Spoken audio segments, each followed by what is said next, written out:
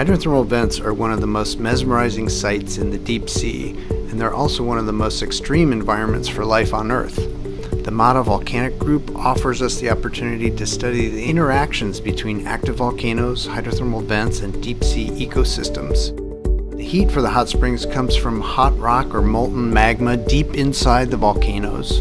On the seafloor, the hot spring fluids gush out and form these absolutely amazing hydrothermal chimneys, which are mainly composed of sulfide minerals containing elements like copper, iron, zinc, and even gold and silver.